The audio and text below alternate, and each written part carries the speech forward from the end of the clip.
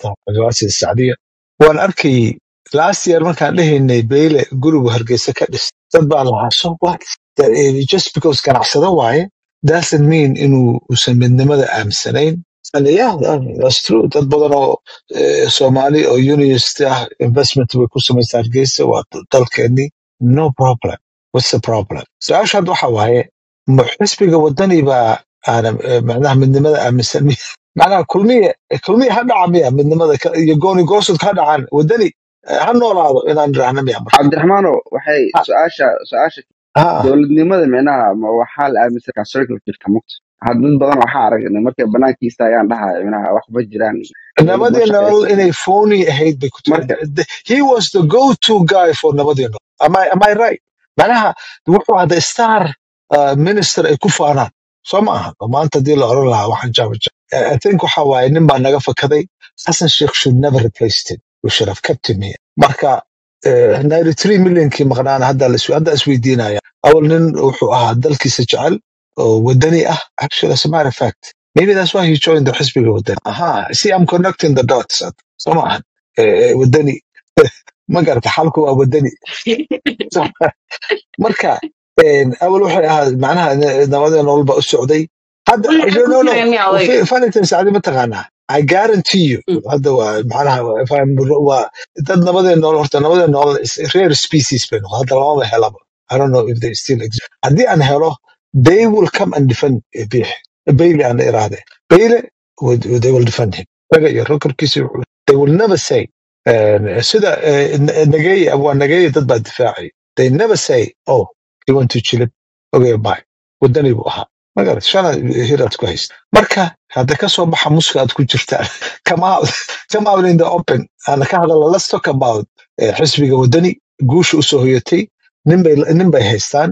Ninkaasi he still believe nabadii nolol ideology. Su'aashaas weydiinaya taas waa sacdi adaa nabadii nolol ahaa ka waran su'aasha waxaa waaye horta een, beylo nabadii nolol ma aha waaye su'aasha waxaa ma ogtahay dadkan oo meelahan ka ahan xagga iska dhig ma sacdi you can you cannot say that cbbga horta ma you can ogtahay waa dad maya innocent ah once nabadii nolol always nabadii dhab bay ka ahayd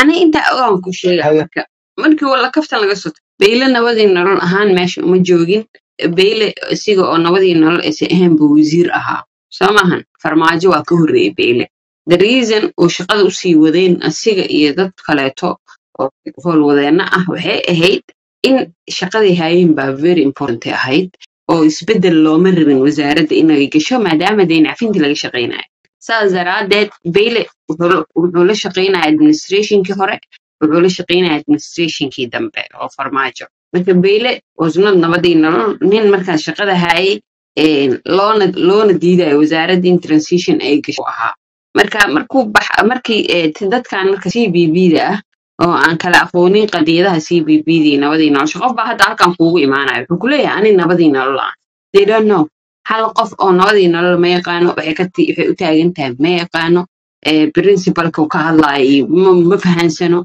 dadkan dad masaakiina waaye marka oo social media ha joogaan waxay ku leeyihiin anaa nabadii nolol ay ku dhahayan intay ku noqoto daddaa dhahda ma ma sheegi kari in waxa la taageero waxay u maleeyaan in laga tirsan yahay tiimkii shaqada haystay oo oo oo dadkan kala karkarsanaya u maleeyaan marka dadkan halkaa iska dhiga bayle saas wuu horta ku joogay he was technical uh, wasiir oo shaqada uu wadayna markaas laga ilaalinayo vacuum in wasaaradda oo dibdhac intuu ku imaado keligiis ma ahayn ninka hadda gobornato ka ah bangiga bangiga ninka ka ah asna waa jiraa oo asna ahaa la taliyaha een, eh, dhaqaalaha ee maxaa economiga fiiska wasaaraha aa jiro oo markii dambeetana bangiga loo wareejiyey labadooda waxay ahaayeen the key to go guys oo shaqada cafinta wadeen ay ahaayeen. I think labadan isku meel inay ka soo jeedaan xataa mana mana la bedelaynin. Eh, marka hadduu baxay marka uu shaqadii ka tegey i remember there is one time um, falo nabadii nolola dee nabadii nolol c b b maahaya nabadii nolosha kale waxaan ku yidhi eh, haddii aad rabtaan inaad eh, la maaragtay eh, challenge garaysaan dowladdan dadka aad rabtaan inaad eh, doodaha waaweyn ka soo qeyb gelisaan oo waxqabadkii eh, xukuumaddii hore ka hadlo waa beyle beyle keena beyle markaas wuxuu jooga hargeysa waqti intuusan hawshan gelin ahayd markaas waxaa la yiri Eh, horta biilo nabadii nolol ma aha saadiyaadi maxaa kugu dhacay ninkaas shaqadiisa waa qabsada waana baxiyey wagtahay laakiin ninka horta nin meeshaas taagan waaye so eh, nabadii nolol ma ahayn biile dadka masaakiinta marka laga kalabo. Haddeertaan eh, nin eh, waxaa noo caddaatay marka in shaqatag la yahay. Shaqatagaa la yahay eh, samoodo halkan shaqa kaaga soo baxday iska soo doono shaqo ayaan joog markaa laabsin siciid dani u tag. Waxaa tiraa istakfirullah waa ka laabtay waa simple. Hawsha shaqo tagnimada halkaas bay baraysaa samoodo. Meesha wax kale ma yaalla Eh, lixlahay sacdi nin baa ti- ti- tiisin igu samayna wuxuu igu yiri eh, there's gonna be breaking news in couple hours. We'll hear huge breaking news. I don't know what that is. Ma reshuffle ma ma shuffle baa la gaaray. Shufflekana khamiisuhu jiri jira ma aqaan. Something is coming up. I'm anxious to know what it is. Soco eh, haa sacdiya iyo cabdiraxmaan bu aada u mahadsantihiin. Niyo doodii hore inaa naga soo aftarteen thank you for that. Waayo waxa weeyaan wixii hore marka laga gudbo. Ana xitaa inaan ka hadlamaa laakiin anyway thank you doodan hadda taagan wasiirkii hore beel oo ku biira xisbiga wadani de wa- warkan ma ahayn war maanta runtii aniga mucjisabigu maaha kow. Waxa laga yaaba idinka qaarkiin inuu maaragtay ay idinku kow yahay. Laakiin dhowrkii bilood ee ugu dambeeyeyba maaragtay ilaa maalintu hargeysa yimi dadkii ugu horeeyay soo dhaweeyey. Inkastoo uu de maaragtay muuse bixi weydiistay in la cafiyo Een, dadkii ugu horeeyay soo dhaweeyeen waxaa ahaayeen dadka maaragtay xisbiga wadani ku jira weliba kuwa waaweynka ah. Hargeysa ku soo dhaweeyeen Eh, isla maalintiiba waxay yidhaahdeen waxaanu jecel lahay inaad nala shaqaysid xisbiga ku soo birtid adiga wada hadallo kadibna de waxaad moodaa inuu hadda ku biiray marka xisbiga weeyaan. Een, anigu shakhsiyan ma is leeyahay xisbiga inuu wax badan ku soo kordhinayo haa wax badan inuu ku soo kordhinayo waa aaminsanahay. Een, ninkan waa nin maaragtay macquul ah oo siyaasi ah oo maaragtay diyaar u ah. Een, mana aaminsani runtii buuqan badan lagu furay hadda in lagu sii furo sababtoo ah de ninku maaha nin dalkiisii ka tegay oo dal kala aaday. Meeshu jooga weli waa dalkiisii hooyo.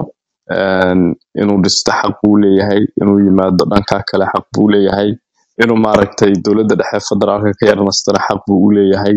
Waayo dowladda federaalka qura waxa ma dhisto Een, maamulada kale laftigooda awoodo waaweyn bay leeyihiin oo dalka wax ku dhisi karaan. In isfahamka siyaasadeed baa loo baahan yahay. Marka de bayle wuxuu noqon karaa anigu aan rajeynayaa inuu noqdo nin runtii wax ku biiriya siyaasadda xisbiga. Ah safiiradu la shiri doonaana waa isla kuwii uun la shirayay. Wax cusub ma jiraan meeshan isla intuun baa halkan hargeysana joogta wax cusub ma jiraan.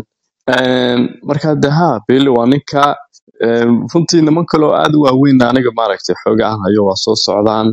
Een, de waxa weeyaan lixle waaye.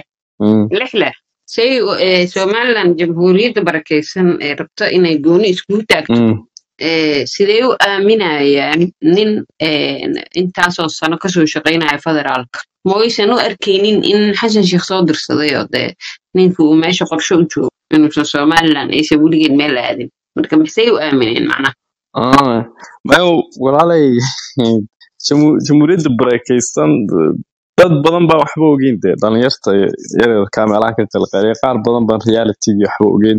Cisho dhaweyta madaxtooyada agteeda maapkii soomaaliya la soo bandhigayay etoobiya caadiga ahaa.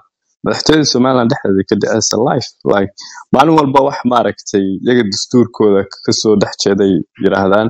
Marka dadkaas way iska nabad jecel yihiin mooyaane dadku waa ogyihiin realityga runtana waa ogyihiin kuwii buuqa badnaana beryahan ilaahay waabu naga soo maaragtay yareeyey.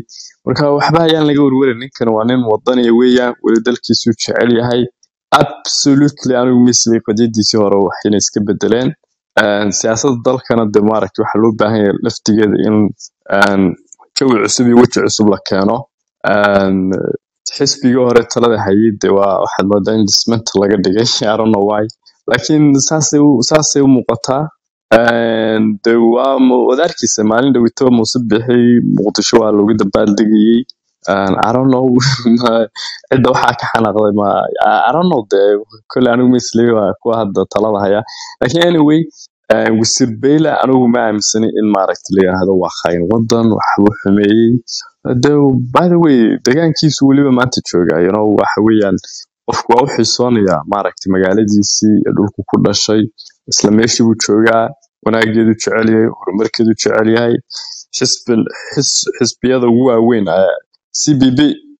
u kacdi beyle markii reeraha loo hadlaayo soo kama soo jeeda suga awdal ha waa waa nin dira walaal waxa weeyaan ha nin dira weeyaan reer awdal weeyaan okay saa qabadir le ha waaye ha fiiri saa qabadir le waaye hasi marka ree awdal waaye mahana okay so hadduu ree awdal yahay ma dhici kartaa siyaasadan dhanba inay tahay in movementiga ree awdal lagu joojiyo Ah, I do.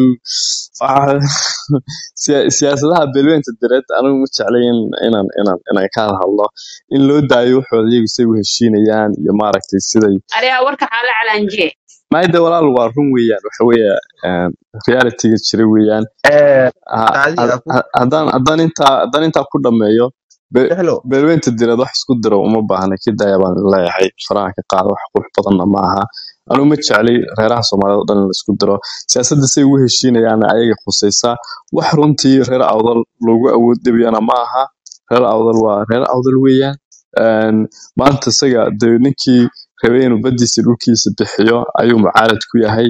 Xisbi social mediana ma wato. Xisbi jira oo taageerayaal dhaba oo original ah oo uu taaban karo uu arki karo calamadeeda sitana waa la joogaa.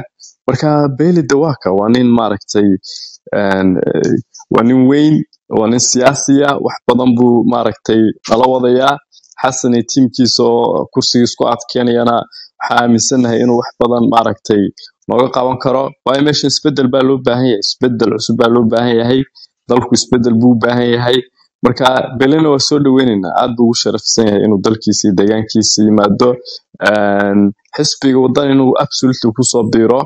Waayo meeshan siyaasado aad u khaldan baa maaragtay meesha laga wadaa. Dad weliba sharciga caalamka wax ka yaqaano oo u qabsoomi karana waa loo baahan yahay oo aan maaragtay meelaha ka qaylqalin oo reeraha isku dirin. Ninkaas de wuxuu u egyahay nin maaragtay eh, qaylo badnayn afkiisu gob yahay sharfan. Marka waa soo dhaweyneynaa saamiya Sa- saacadiyaan ka wadaa wixii su'aalaan insha allah dadka kale uga baxay. Waa idin salaamaya dhammaantiin Lixlo su'aal ma ku weydiin karaa? Oo hadday fasaxaan. Ku Waa waa waa gruubka lixle macnaha Wa- somaliland way ka qabqaadan oo socoto rabaa cabdibaasis maxaa macnaha dhahaa lixle fa- Cabdibaasid waa mahadsanta. lixle yaa mii cabdibaasis maqshaa ha may ha lixle hadda waxaan ku dhahay somaliland oo socoto marka somaliland way kala qabqaadaya mar raba macnaha faham A- aniga waxaan ku yiri beelaha dir in la kala qaad qaado somaliland ma oran. Lix- Lixlow su'aashan ku weydiinaya waxa waaye isbeddel buu xam- buu wadaa baa tiri. Isbedelka laakiin waxba kama aadan sheegin. Inaa isbeddelka wax ka taabato way fiicnaan lahayd. Arrinta labaad aan ku weydiinayaa waxa ay ti waa maxay farqiga u dhexeeya Samatar iyo Bayle? waan ognahay samatar halkuu ku dambeeyey iyo halkuu ka soo bilaabay markuu ku soo fashilmay xaggii kore in markuu wax ka soo waayey iyo xaggan kale wuxuu yidhi somalilandta laguma dhaamo waatii qadiyadda gooni goosadkaa taageer maxay labadooda maanta ku kala duwan yihiin waxay u xambaarsan yihiin isbedelkaana noo sheeg. Wa- wa- waa su'aal aad u fiican maxay ku kala duwan yihiin samatar iyo beyle Een, kale dhowr wax waa ku kala duwan yihiin. De beyle wasiirka maaliyaddu ahaa ee samatarna wuxuu ahaa nin maaragtay eh, xamaro weli dabkeedu shidan yahay rabay inuu madaxweyne ka noqdo. Eh, soomaalinimadii iyo wuxuu aaminsanaana lala qaadan waayey qofkuna ma hadda inuu cadhoodo. Marka ninna waxa weeya nin de maaragtay nidaamkii ka qayb qaatay ka taliyey madax weyn ka ahaa wasiirada weliba kuwa a pluska la dhaho ka noqday. Midna wuxuu ahaa nin soo xanaaqay iska yimi haddana meeshan waxba aan ka wadan. Midna waa de ninkaa noqday wax ka noqday og waxay tahay. Marka isbedelku wada waxa weeyaan de waa isbeddelka dadku wada arkayaan. Aad arkisid magaalo walba in looga soo baxayo calaamadeedii la wada sito waa isbeddel maaragtay runtii anigu waan aaminsanahay inuu ku salaysan yahay shuruucda caalamka jirta oo aan inaba maaragtay la baal mari karayn isbeddelka maaragtay lagu diidayo maaragtay in Ethiopia ay dhul iyo deegaan iyo bada ay ku yeelato. Weliba inagoo arkayna hadda in wixii de nimankii Zionistuguna ay leeyihiin dekadaanu rabnaa waxbaanu duqaynaynaa. Isbedelkaasay ka mid yihiin de in dalkan dad heshiin kara oo wax soo ogol oo wada iman kara oo wada fadhiisan kara. Weliba xisbiga wadani waa xisbiga qura ee meel fagaaraha ka yiri.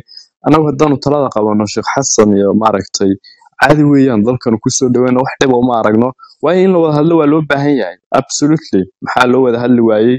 Een, anaga maaragtay soomaaliya inaan la hadalno don't know anigu shakhsiyan maaragtay siyaasadda waqooyi koonfur maaragtay ma aaminsani waayo waxaan is leeyahay wax badan baa runtii xumaan kara laakiin de waad waxaad moodaa weli maadaama dadkii shacabkii aanay weli maaragtay isu niyad furnayn oo dhulkii aan weli maaragtay laisdhexgelin in loo baahan yahay in la wada hadlo. Waxaa laga wada hadlayaa waa maxay waxaa laga wada hadlayaa waa isbeddelka maanta waanu ognahay in uh, cunaqabatayntii dhaqaalaha laynaga saaray hubkii soo degiyo nidaamkii dowladeed meesha imanayo safiiradii maaragtay qaranku la- wada lahaa ay hargeysa maalin iyo habeen ka wada degayaan. Isbedelkanu ka hadlayna kaa weeyaan anuu mid kaleba ma arko. Aad baad u mahadsanta ku salaamaya.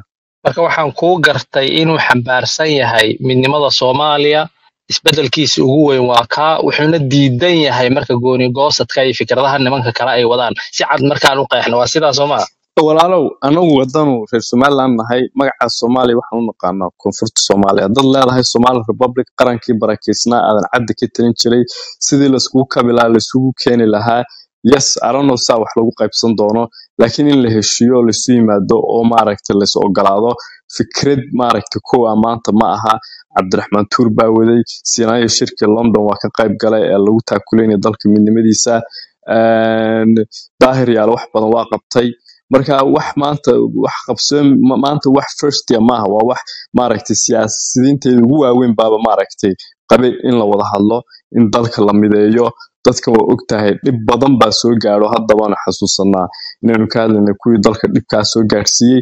Marka in laysu yimaado la wada hadlo hore loo socdo oo nina aan kursiga iskaga dhegin oo dadku wax wada lahaadaan oo canshuuraha la bixiyo waayo xitaa maanta today de waad aragtaa wasiir beyle waxyaaba ku soo kordhin kara? Waxa weeyaan qadyadan somaliland ee guracan ee maaragtay dalka lagu kala goynayo in aanay runtii wax maaragtay mustaqbal dadkaan ugu jiran ahayn. Maanta waxaanu ognahay in isagu de shaqadu hayo ahaa wasiirka maaliyadda in canshuurihii digital ay marayaan oo two five two quraha dad shirihii aad haysatid furaha dalka aad canshuur aad ku khasbantay inaad bixisid. Adigoo aan awood u lahayn inaad iskaga dhicisid. Is- isbedelku meeshuu keenaya waa kaa weeyaan in maanta loo baahan canshuurihii la bixiyo dowladnimada ay dhowdahay isbedela ay imanayaan beesha caalamku ay nidaamkii eh, iyo qalabkii casriga ah caalamka ay ku caawinayaan dowladdeena isbedeladaasaa laga hadlayaa taasuu keenayaa fikradihiisu xisbigu ku soo biirinaya waanu ku soo dhow yahay. De maasha allah maxaa kala oran lahaa? Waa maadsantaha markaa waan ku fahnay markaa waan kula soo dhaweynaynaa hadduu halkaa marayo oo sida aad u sheegtay xaajadiisu ay tahay waan soo dhaweynaynaa marka waa nin soomaaliyeed oo isbeddel xaggaa ka keenaya waa Ah, waxaan rabaa inaan siiyo een, dadkaan weli hadlin cabdiraxmaan soo dhow waraadha waan salaamay salaamu calaykum waraxmatullahi wabarakaatu niman waxaan odhan lahaa horta waxaan yaxyaa ninka la yidhaahdo lixda hadda shubayo waxba kama jiraan runtii. Ah, fikir somaliland dhex yaallana maaha. Daahir yaale wax midnimo somali republic la yidhaahdo habeenka muu shaqayn. Een, silaayana kamuu shaqayn. Taa dadku warka waqtiga way ku kala qaybsanaayeen arrin jirta yahay. Laakiin arrimahan uu sheegayuu isku kabaya hadda een, saliya raatoona malaha somalilandna kama jiraan. Arrinta beyle niyo beyle iyo keligii maahe kuwan xataa imika xamar jooga ee, ninka la yidhahda cabdiraxmaan samawado anigu waxaan u aqaanaa mar ereyga munaafiq soomaalida way necab yihiin laakiin maaha diiniyan munaafiqiin uma aha laakiin waa munaafiqiin siyaasadeed weeye. Waayo cid og waxa quluubtooda ku jirtaa ma jirto ilaahay unbaa qofka qalbigiisa waxa ku jira. Ee, hadda ninka la yidhaahdo biixi biixi cige ee wasiirka maaliyadda soomaaliya ka ee, wejigiisa anu markaan saa weego somaliland dhabun baa ii muuqda un ilaahay baa qalbigiisa oge Een, inay muxuu ahaaye laabta somaliland kaga xardhan tahay ayuunbaa ii muuqataa beyle markaa isaguna qoladaasu horta ku tirsan yahay markaan waxa weeye qofku inuu anu waan ka soo horjeeda tootali sideedaba waxaan arkaa inay khalad tahay waa fikirkayga gaarka ah in qofku marba meelo cararo oo marba halku kursi ka helayo joogo oo muxuu hayey aanu aragti iyo mabaadi midna xambaarsanayn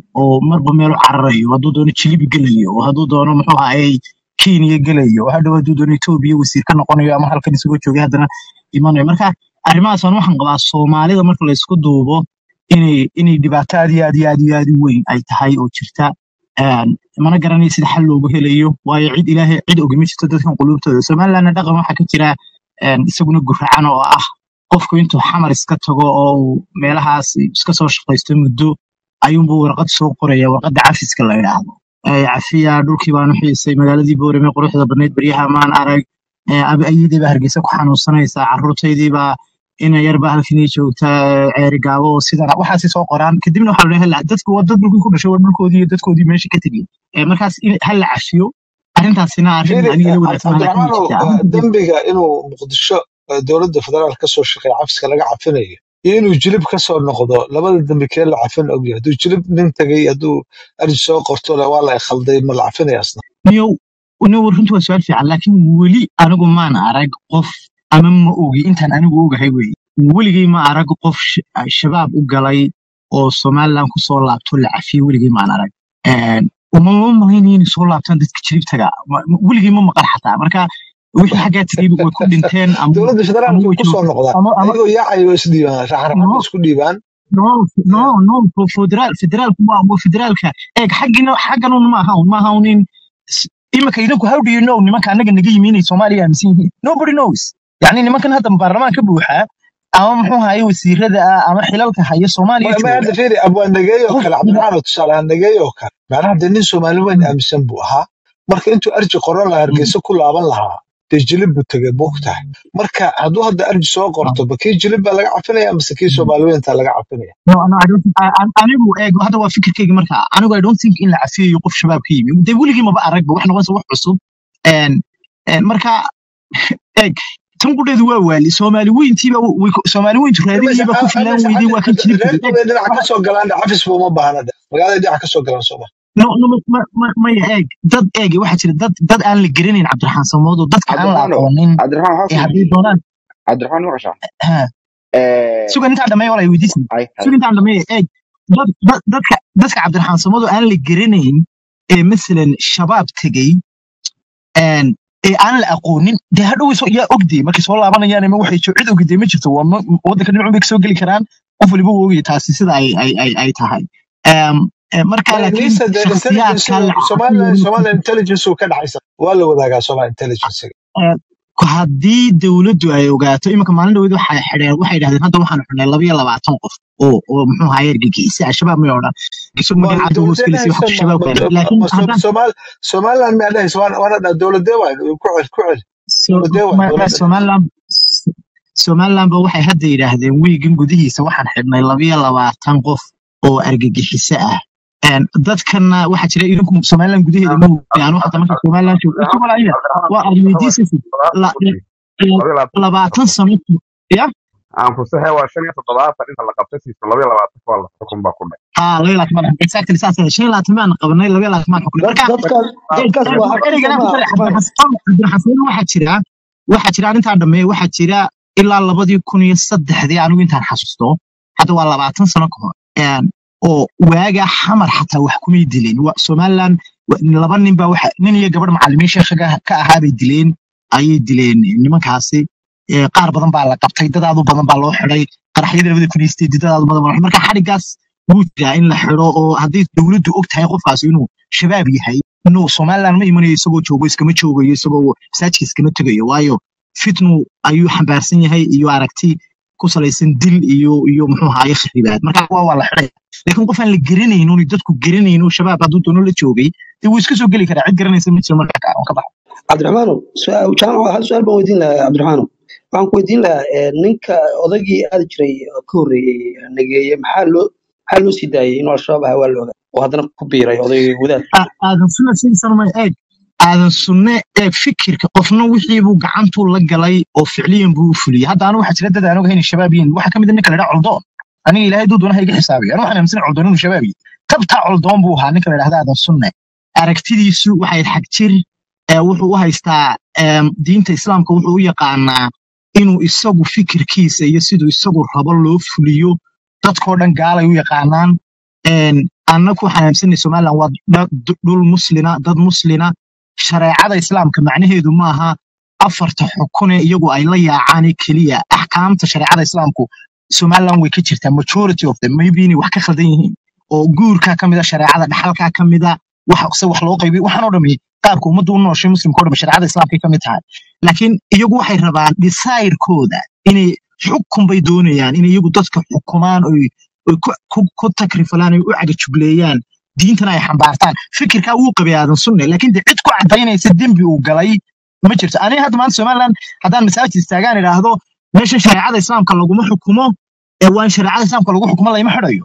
Waayo dee dadku wada muslim kun dhegeysanaya waa muslim way wada qabaan shareecada in la xukumo. Waxbaa isku haysanaa waa cidda shareecada xukumaysa yaa loo sidee loo xukumaya yay tahay. Iyagu taas weye taa fikirku. Marka halkaasay ka taagan yihiin meel walba dad aaminsan inay inay d- g- muxuu ahaye dadkani yihiin dad diintii aan ku dhaqmayn oy tahay in maalin walba dee coldoon baa la dhex taagan masaajiga. Aadan sunno sidii coldoon loo xidhxidhi jiray dhow jeer unbaa loo xidhay waana la sii daayay waa dembi cadoo la yidhaahdo kaasaa dembi oo gacanta uu kori jiray ma jirin cabdiraxmaanoo laakiin laakiin waxaa hayn waa u malaynaya adi xataa inaa inaa meelaha ka maqashay. Ninka hadda madaxda u ah micnaha somaliland sirdoonkeeda oo dheh oo dhahayo waa soo mina- waa soo gelbinay ilaa uu meeshuu rabo uu ka gaaro. Marka wax micnaha la qarin kara ama la dhihi karo lama ogeen iyo lagama warheynin iyo waxaas waa waa ninkii micnaha waxaa la cadeynaya mustafa oo ah eh, ninka sirdoonka somaliland micnaha madaxda u ah. Marka eh, lama ogeen micnaha ma dhihi kartid. Waayo cadeynteeda yaa lahayn bas keliya kugu dirta hilowlow aniga nin meel kale ay gelisa hadda adigu aad ila tagtay eeg anigu waa idinla yaabaa. Marka hilowle aa intaa idhaahdo intaa sorry intaa idhaahdo qofka hadlayay haye wala maya dhibba ma laha. Aragtidaa aragtidaasun kelmadaha ka idhaahdo. Ah, ya ha okay sorry. Codka malaawiga haddaan isaga ahayn eeg fikirkan ah qof somaliland ka yimi baa shabaab tegey. Anigu arrintan waa idinkula yaabaa markaa ka hadlaysaan. Cabdiraxmaan jamaican baa joogay iyo afghanistan. maxaa somaliland ba keenay? Waaba soomaali cabdiraxmaan af soomaali ku hadlay kuwan baa jooga dagaalamayeen cabdiraxmaan sec. Aniga kuma dhihin qof somaliland ka imaada shabaab ku biiray kuma dhicin igama igamaada maqal aniga waxa keliya kuu sheega waxaa waaye mustafa oo ah ninka micnaha madaxda u ah hay'adda nabad sugidda ee So- ee somaliland oo dhahayo meeshii micnaha markaa ka soo kaxeynay somaliland. Waxaa soo gaarsiinay oo aan ka warhaynay ilaa meeshuu rabay uu ka gaaro. Waa on the record micnaha wax anaga haddaas. Marka aniga qofka wuxuu dhahay na it's not about my opinion. Wax wax qofka sheegay walaa anigu ma difaacayo wuxuu mustafa bacalul yidhi isagaa ay tahay in la weydiiyo. I think markuu hadalkan yidhi la sheegay horaan u maqlay ereyga maan dhegeysan anigu isagoo isagu leh. Laakiin dad baan ka maqlay le wuu yidhi haddaan markaasaan u malaynayo qof markaa wuxuu ahaa mu ahayn qof xil hayey markuu hadalkaa yidhi.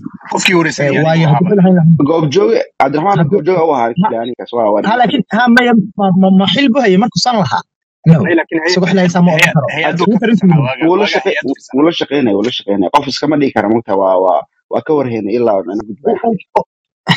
anigu isagu wuxuu yidhi idinku anigu de hadda ma difaacayo ma ogi siduu arrintu ay u waday laakiin ani hal mid baa ii muuqda halka ii mid ii muuqda waxa weeyaan arrinta muxuu ahaye inaad doonaysaan dhibaato ah xallin kari weydeen ina annaga dusha naga saartaan arrintaasoo yaab leh waar meel walba way joogaan dad xag jira oo qaraxa iyo balaayadaa wada dunidoo dhan bay joogaan intaasoo kunoo qof baa isugu tagto xataa yurub ka tagtay ukaadi walaa in yar ma joogtay khayrowkaada wax may waan dhamaystira may waaba ka baxay may waa ka baxay waan waan eeg marka anigu anigu dadku war horta ukaadi aan tan dhameeye ukaadin yar em shakhsiyaadka halkan ka yimi ee somaliland ka yimi halkan jooga horta kow shabaab cidda ah iyo cidda maamushay iyo cidda u shaqeeyaan iyo waxaan oo dhan i think scientifically dad baa u sameeyey waa la helayaa percentage. ahaan dadka ku kala jira xataa intay leegyihiin over 90 percent waa dad soomaaliya ka yimi soomaaliya u dhasho joogo dhulkoodii jooga laakiin anigu waxaa xataa ila ciifnimo ah in haddii maanta annaga xagga iyaga ay joogi lahaayeen oo annaga ay sida halka ay u joogaan u haysan lahaayeen dhulka iyaga anigu maan blame gareeyeen cabdibaasid oo adiga iyo cabdiraxmaan samawade oo ma idhaahdeen idinkaan noo soo iyo waxa waaye anigaaba gurigaygii joogaan iyo beerahaygii iyo dhulkaygii iyo magaaladeydii degan yihiin. So dadkaygii anaa rabo dadkii ogolayo la joogaa. Qof banaanka qof uu iiga soo xawilay markaa ama ama israa'iil ha laga soo diro ama somaliland ama yamane eed ma noqonayso taas W- waanan la yaabaa marka aan arko cabdiraxmaan idinkoo sidaa laakiin fiiri eh, halka hadalka halka ka heli hadalka adoo raalli ah hadalka saa u dhigaysa ma aha mugta annaga micnaha inaa waxaa hadda ka dhigaysaa eh, generalization aa wadnoo ah micnaha waa la soo xawilaa mugta hadalka annaga naga mid maha mustafa ka yimid micnaha marka haddii micnaha waxa la eedeyna mustafa ayadaas laha waa hadalkaas annaga hadda ma dhihin micnaha ama ama ama fikradda Maya micnaha miyaanad isagu uma sheegin aaminsan tihiin de dad badan oo ka mid ah arrintaa qabaan arko ka doodo marka hadde somaliland bay hadad ka yimaadeen may oo dadkaas waxaan Ah, cabdi dadkaas baabo inaade dooda al-shabaabta may naga may waxaa ka Ah,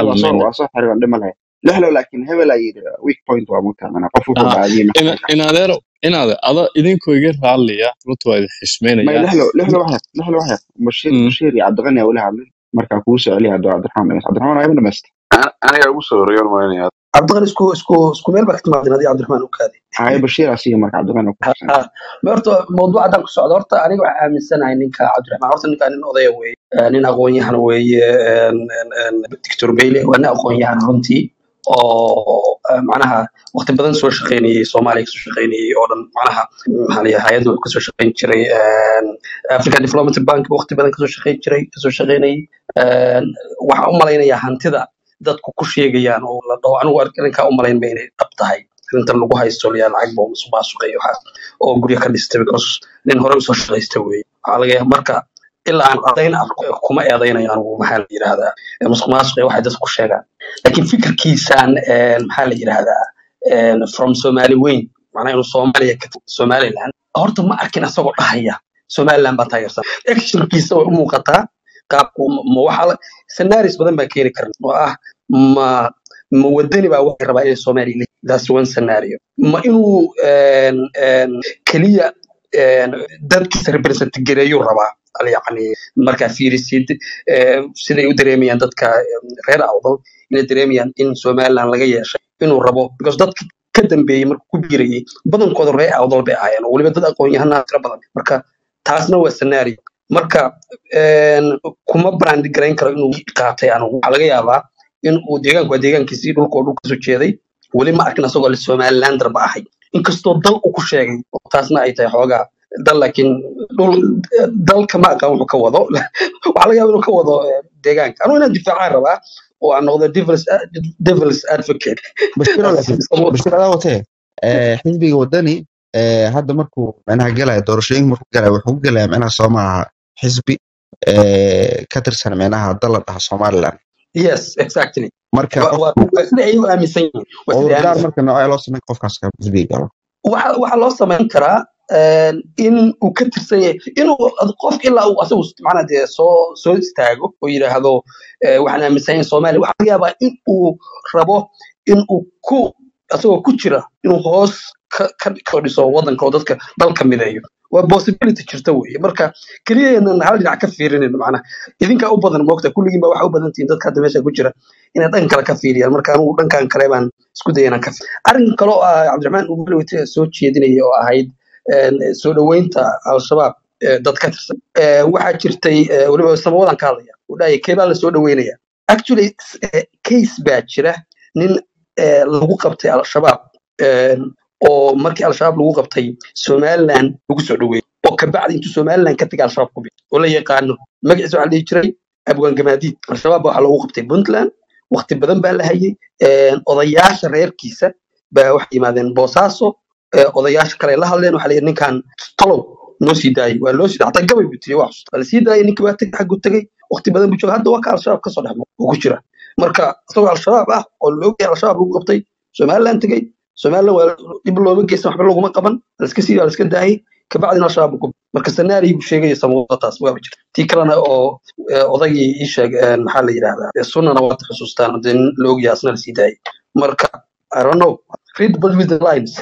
waa ka baxa war aad iyo aad baa idin salaamaya aniga aniga aniga ula malinaya waa niyow horta meesha mawduuc baa ku qoran mawduuca ka baxna waxa weeyaan doctor bela laga hadlayay waxaan maqli jiray bahasha xuunshada iyo tukaha waa- waxay wax dareentaa marka laba nabar ku dhacaan baalka tukuhu goon wax dareentaa waliba marka laba nin ujeedada marka saa bahashaba aan arkayna ii jeeda anigu dareemaan ka carara meesha. Xuunsha adna marka laba igu dhacaan ka saddexaad igu xaqiiqdu waxa weeye marka eh, doctor bailey horta waa nin reer eh, dalkiisiiba ku soo noqday. System iyo shuruuc baa jirta somaliland leedahay oo wadadiibu soo maray inuu somaliland cafis madaxweynaha soo weydiisto cafis soo dalbaday waraqada cafiska madaxweynuhu uu siiyey. Kadibna uu sidaa somaliland ku yimid. Mushkiladeedan haysato qoladiina reer koonfurka waxa weeye bailey hore uga hadlay. Nimankan qoryaha waqooyiga inta badan sugaan bay ku hadlaan dadka sugaan bay wax sheegaan. Ninkii mardhawed cabdiraxmaan sabada ka sheekeynaya waxaa ka mid ahaa inagii de inuu jilib tagay u weydiiyey si sheegayo idinkaba muwaadin soomaaliyeed calanku sitaa burku marta halka dee dhexdaas kaga maraysay bayle hore idinku sheego soomaaliya waa mashruuc bir mashruucii qaybtiisa soo qaatay falilahi alxamd maanta oday toddobaatan jir uu iska soo nashasastay waxa weeyaan dalkiisii u yimid. Inta cimrigiisa ku hadhayna mid kalena aan sheegay reer somaliland qof xamar ka soo heeyey waxba uma dhiibtaan beyle amba caawa cer hadduu soo baxo xitaa wax loo dhiibanayo waxa weeyaan oo dowladda cabdiraxmaan cero uu ku yeelanaya ma jirto xaqiiqda waa markaa buubaayo ka weynaabaa yimid boqolaal de siyaasiyiin oo reer somalilandaba cafis soo dalbaday oo yimid somaliland ku soo noqday cid shaqa u dhiibatay qaarna de iskaba dhintay qaarna ilaa imika waa nool yihiin oo bartooda waa shaqa tage markuu mashruuca qaybtiisa soo qaato waa iska soo noqonaya kowdha markaa nimayo idinku goortaad ka baxaysaan in laydin soo shaqa tago mashruuca maalin kasta qaybtada ay dadku qaybtooda soo qaataan oo waxa weeyaan halkaa iska fadhidaan maalinba calam buu qaatay ku soo dhaweysaan dee anaga de wax naga gara ma jirta waana soo dhaweynayna anigu nin kastoo soo shaqaysta dukaamada ka soo shaqaysta iyo hadduu xamar ka soo shaqaysto oo suuqaayo ninku anaga cashuur bixiyaa buu noo noqonaya laakiin siyaasiyan boqolkiiba sagaashan iyo sagaal somaliland wuxuuma dhiibin soomaaliya maanta axmed ismaaciil samater baa ugu dhowo xisbi furtay oo isna waad arkaysaa ilaa imika baashi in la aamini layahay. waxa weeyaan buubaa baa yimid arkayseen halkuu ku dambeeyey. Mid kasta markuu soo noqdo cid wuxu dhiibataa ma jirto. Tan shabaabkii la soo celceliyena shabaabka nin dadkan indha gorgor bay leeyihiin. Waxa aadan sunne boqol jeer baa la tuhumay wixii lagu qabanaya tuhum baa adduunka shuruuc baa jirta qofku ilaa uu faldembiyeed gacanta kula jiro ama faldembiyeedkii aad ku hayso dee qaraar ma marin karti laakiin somaliland way tuhuntay way qabatay way xidhay. Wixii ugu badnaa social media iyo meel kasta ka qelinaya idinka haayeen alaloo sii daayo yahay markii la soo daayo jilimidaba noo soo dirteen baadna tiraada marka goormad waalinta waa waxyaabaha fahmi lahay. Taa ugu dambeysay gabadiida oo ninkaa bashiir ka hadlayna. Gabadiid nin gabyaayu ahaa gabay nimankaa taageero ugu muujinayo puntland isagoo gabaygaa tiranaya loogu xiday somaliland baa ka horreysay oo xidhay oo layska sii daayay.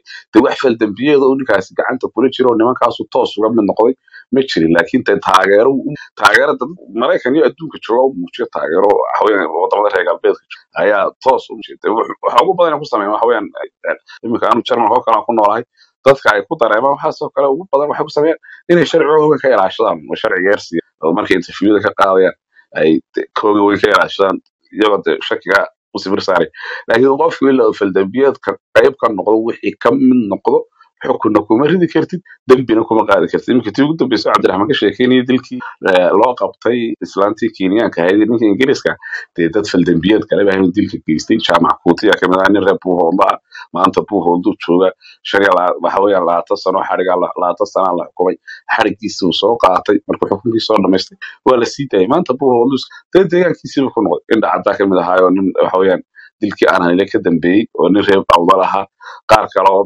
deegaanadan dhexe waxa ka soo jeeday hargeysiya burciyaba ku jiray.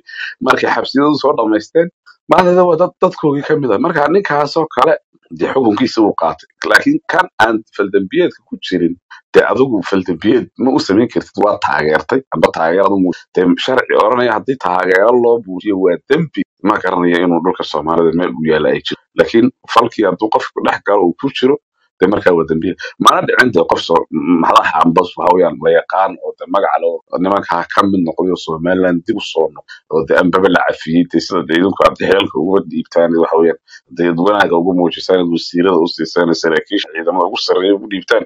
De ma dhicin nin reer somaliland oo heerarkaa gaaray intay dib u soo noqdaan waxa weeyaan la cafiyey haddana marka dambena. La cafiyeba ma dhicin xilliga waxaan de taas ku civil ahaayo caadi dowlad ka soo shaqeeya somaliland dib ba xilligu macdalahooba ku shabaab iyo argagixisa kayim marka taasina waa iska eed meel weyn ma garatee marka xaqiiqdu waxa weeye bayle dalkii buu yimid. Inta cimrigiisa oo dhan halkaas iska joogaya daad iyo aad baan salaamina nimayo dadkan inaad kala barataan ba saalax axmed jaamaci bacday yare madow idinla yimidna dhow isagoo dadkiisa qawo salaamay aa maasan tahay